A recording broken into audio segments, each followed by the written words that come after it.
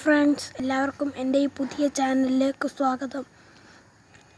നിങ്ങൾ ഈ ചാനൽ ആദ്യമായാണ് കാണുന്നതെങ്കിൽ ഒന്ന് സബ്സ്ക്രൈബ് ചെയ്യുക.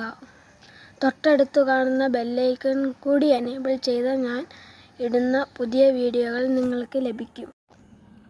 നമ്മൾ ഇന്നിവിടെ പറയാൻ പോകുന്നത് ഗപ്പികളെ വളർത്തുമ്പോൾ ശ്രദ്ധിക്കേണ്ട കാര്യങ്ങളാണ്.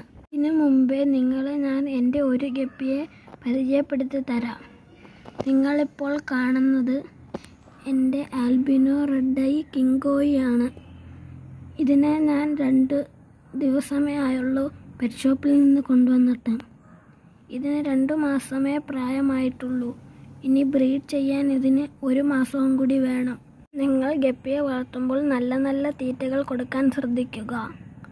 നല്ല നല്ല തീറ്റകൾ ഏതാണെന്ന് പറഞ്ഞാൽ ആർട്ടീമിയ മൊയിനോ മൈക്രോയംസ് ഇങ്ങനെയുള്ള ലൈഫ് ഫീഡുകളൊക്കെയാണ് ഞാനിവിടെ കൊടുക്കുന്നത് മൊയിനയും ആണ്. ഈ ഗപ്പികൾക്ക് തണുപ്പധികം പറ്റത്തില്ല.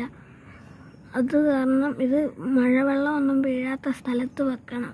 ആൽബിനോ വിഭാഗത്തിൽപ്പെട്ട ഗപ്പികളെ കുറിച്ചാണ് പറയുന്നത്.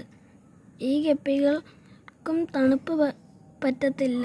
ഈ ഗപ്പികൾക്ക് കാഴ്ച അധികം ഇല്ല. അത് കാരണം ഇത് ഇതിന്റെ കുഞ്ഞുങ്ങളെ പെട്ടെന്ന് കഴിക്കും. അതുകൊണ്ട് ഇതിനെ നിങ്ങൾ ബ്രീഡ് ചെയ്യുമ്പോൾ ബ്രീഡിംഗ് ബോക്സിൽ ഇട്ട് ബ്രീഡ് ചെയ്യാൻ ഇനി ഞാനിവിടെ പറയാൻ പോകുന്നത് ഗപ്പികളെ ബ്രീഡ് ചെയ്യാൻ എടുക്കുമ്പോൾ ശ്രദ്ധിക്കേണ്ട കാര്യങ്ങളാണ്. ബ്രീഡ് ചെയ്യാൻ എടുക്കുമ്പോൾ ഒരു മെയിലും രണ്ട് ഫീമെയിലുമാണ് എടുക്കേണ്ടത്. അത് മൂന്ന് മാസം പ്രായമായ മെയിലും മൂന്ന് മാസം പ്രായമായ ഫീമെയിലും ആയിരിക്കണം. ബ്രീഡിങ്ങിന് എടുക്കുമ്പോൾ വലിയ ടാങ്ക് എടുക്കാൻ ശ്രദ്ധിക്കുക. ആ അതിന്റെ ആ ടാങ്കിന്റെ അകത്ത് നിറയെ വാട്ടർ പ്ലാന്റ്സ് ഇടാൻ ശ്രദ്ധിക്കുക.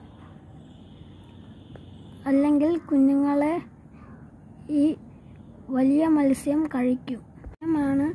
ഈ ഗപ്പി വളർത്തുമ്പോൾ ശ്രദ്ധിക്കേണ്ട കാര്യങ്ങൾ.